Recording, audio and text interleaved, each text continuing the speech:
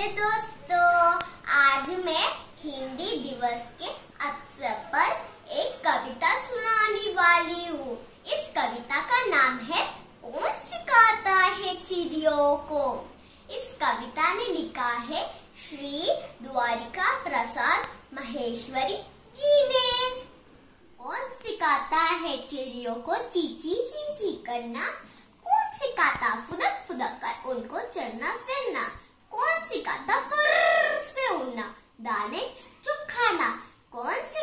सिखाता तिनके लाला कर घोंसले बनाना। कौन सिखाता बच्चों का लालन पालन उनको? माँ का प्यार, दुलार, चौकसी, कौन सिखाता उनको? कुदरत का एक खेल वही हम सबको सब कुछ देती। किंतु नहीं बदले में हमसे वो कुछ भी है लेती। हम सब उसके अंश जैसे तरु, पशु, पक्षी सारे। हम सब उसके वंश जैसे सूरज, चाँद, सितारे, धन्यवाद।